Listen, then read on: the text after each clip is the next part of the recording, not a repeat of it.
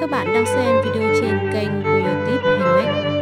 Chúc các bạn có giây phút thư giãn và vui vẻ. Đừng quên bấm đăng ký kênh và bật